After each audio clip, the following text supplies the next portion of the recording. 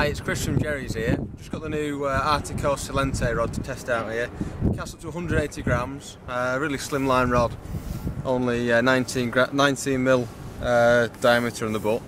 We'll give it a go. Look, plain 4 ounce lead and some uh, 53 pound braid straight through.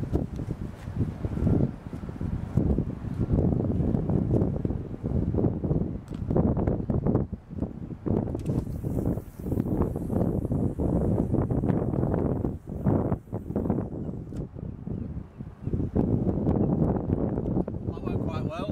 Um, onto new braids, so it must be getting closer around the 200 yard mark there. Uh, don't have any measuring equipment today, but effortless to cast.